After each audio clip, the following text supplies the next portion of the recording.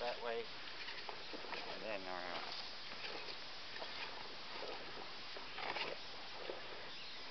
Now hug this right. There you go.